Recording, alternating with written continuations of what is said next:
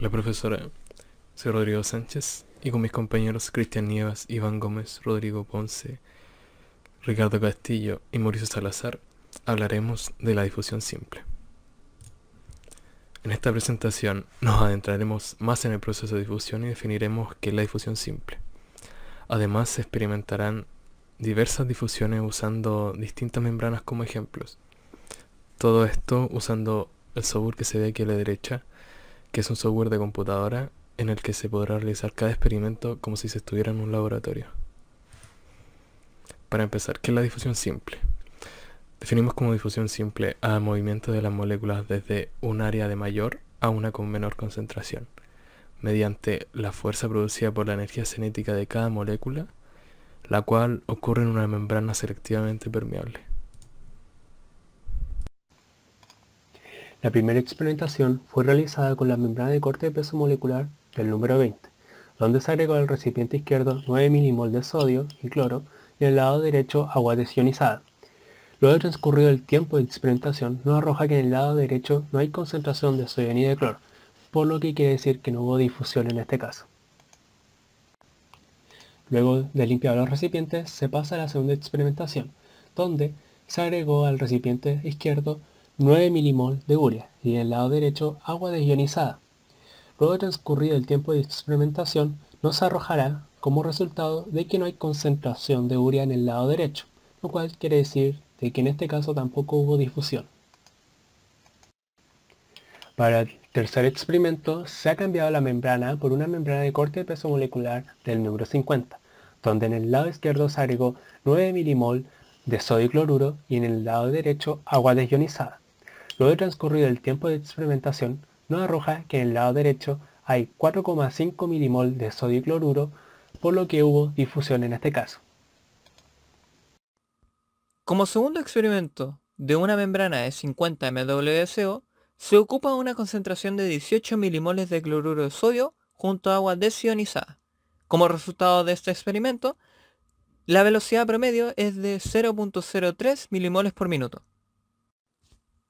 Pasando a la membrana de 100 MWSO, se harán dos experimentos. El primero ocupando una concentración de 9 milimoles junto a agua desionizada, lo cual dará como resultado 0.0150 milimoles por minuto como la velocidad promedio de esta difusión. Como segundo experimento ocupando una membrana de 100 MWSO, se ocupará una solución de urea con una concentración de 9 milimoles que se difundirá con agua desionizada. Al mismo tiempo, como resultado de este experimento, se logra llegar a una velocidad de difusión de 0.0094 milimoles por minuto. El siguiente experimento se utilizará con la membrana MWCO200. Con esta membrana se harán dos, dos experimentos, uno con glucosa de concentración 9 milimolar y otro con albúmina de concentración 9 milimolar. En el experimento con glucosa se administra la concentración de glucosa 9 milimolar en el contenedor de la izquierda, mientras que en el contenedor de la derecha se agrega agua desionizada. Se el botón Start y al cabo de un tiempo parte de la concentración de glucosa estará en el contenedor del lado derecho. Junto con eso obtendremos una tasa de difusión de 0,040 milimoles por minuto. En este caso utilizaremos la albúmina. Al igual que con la concentración de glucosa, se agrega la concentración de albúmina 9 milimolar en el contenedor de la izquierda, mientras que en la derecha se agrega agua desionizada. Y como se puede observar en las imágenes, la albúmina no difunde por esa membrana, todo eso gracias al tamaño de la molécula. Y por ende eso nos da una tasa de difusión de 0 milimoles por minuto. En la siguiente tabla se puede ver los resultados de la diálisis respecto al tamaño de la membrana. Por ejemplo, cuando el tamaño de la membrana era 20, ningún soluto logró traspasar la membrana, a diferencia de las, de las siguientes, como la 50, la 100 y la 200.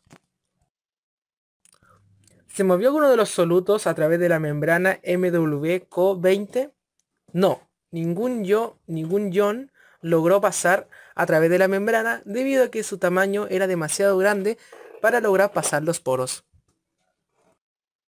Como segunda pregunta, ¿se movió el cloruro de sodio a través de la membrana MWCO50?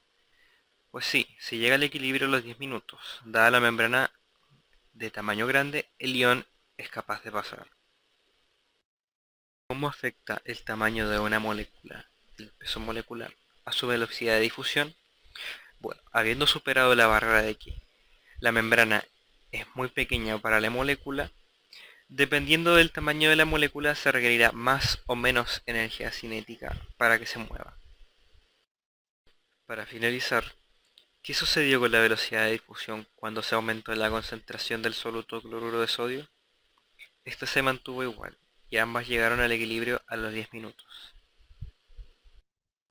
En el siguiente video, una bolsita de té es sumergida en agua caliente, donde eh, esto, es una esto es una analogía a la difusión simple, debido a que la bolsita de té no necesita ningún aporte energético para lograr transportar el soluto.